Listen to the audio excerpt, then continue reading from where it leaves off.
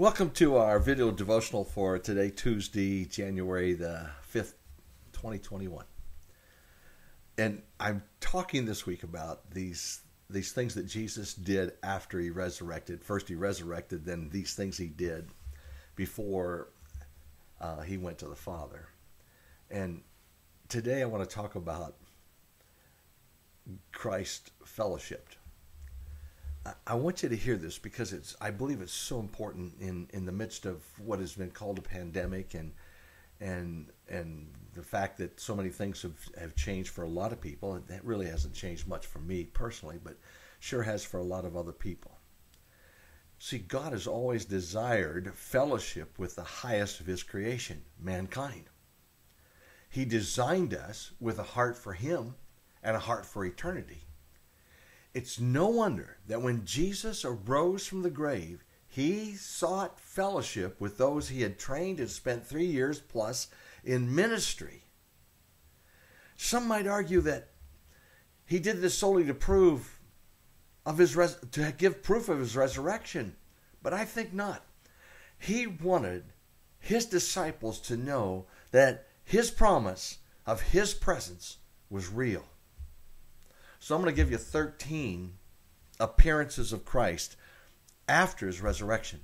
First, he appeared to Mary Magdalene as a gardener. Mark 16 and John 20. He appeared to the other two women who were with Mary Magdalene, Salome and Mary, the mother of James, in Matthew 28. He appeared to Peter, Luke 24. He appeared to two men on the road to Emmaus in Luke 24. He appeared to the apostles except for Thomas in Luke 24 and John chapter 20. He appeared to the apostles with Thomas in John 20. He appeared to seven of his disciples on the shores of the Sea of Galilee in John 21.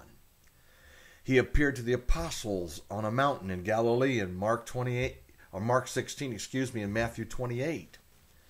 He appeared to over 500 brethren, according to 1 Corinthians 15, verse 6. He appeared to his brother James, according to 1 Corinthians 15, 7. He appeared to the apostles and ate a meal with them in Acts 1, 3 through 8, and Luke 24. He appeared at his ascension. He was there in Acts 1 and Mark 16 and Luke 24. And he appeared to Paul in 1 Corinthians 15 and Acts 9 and Acts 18 and Acts 23, recording all of those occasions of his appearance to, to Paul. My point is extremely clear. After his resurrection, Jesus sought fellowship. The proof is in the text. He was alive, but more importantly, he desired fellowship with those connected to him. After his resurrection, Jesus significantly took time to fellowship. Is it any wonder that the same desire is in us? I, I believe that uh, one of the tools of the enemy, the devil, is to isolate us from other believers. There are many, many reasons for this, but one major reason is to get us to be independent. See, independence generally means lack of accountability. It's more difficult to yield to our flesh when in the presence of those who have a strong desire to love and obey Christ. It's easier to follow Christ when we keep in fellowship. I'm not stating that we don't need time alone. And we need solitude. I think Jesus practiced that as well.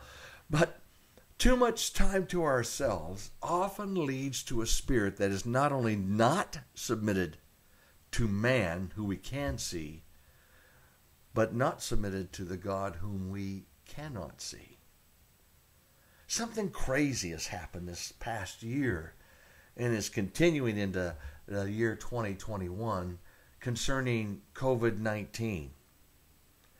It is this cry that's being preached even louder right now to stay at home and not connect, not get it together in groups. And then they've added this obscene catchphrase. Obscene because it's juxtaposed against uh, staying connected by saying, we can do this together. In other words, stay home by yourself, but we can do this together.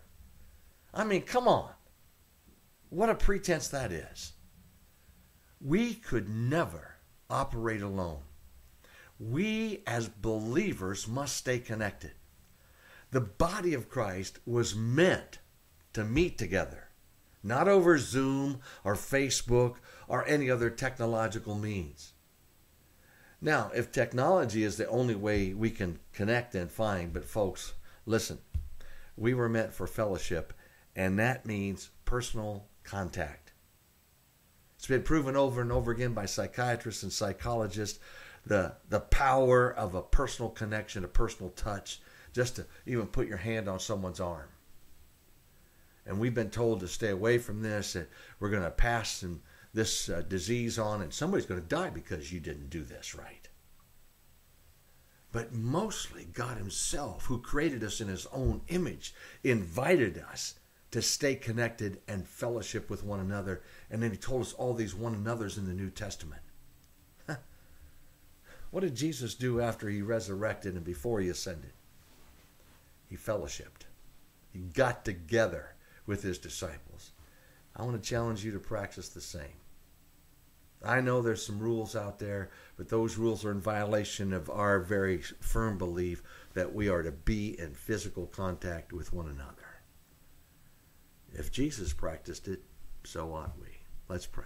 Father, in the name of Jesus, give us courage to be the people that we need to be, to love one another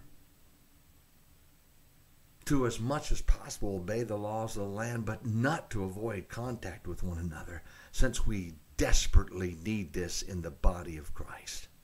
Thank you for giving us the courage to obey what you've told us to do and what you practiced as an example for us. And Lord, whether that's just in smaller groups than going to big church services, so be it. But Lord, help us to stay in contact with one another and not neglect it. I pray for that to happen in the name of Jesus. Amen. Grace and peace today. Have a blessed day.